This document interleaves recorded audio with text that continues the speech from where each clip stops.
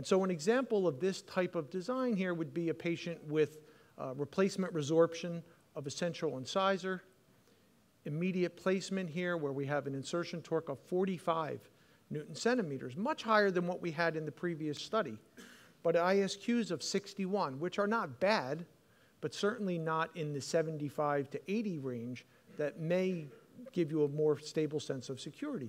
But we perform dermal apron here, and this is really what we're waiting to see, this coronal bone chamber. And what happens here? Well, remember, at placement, we were at 61.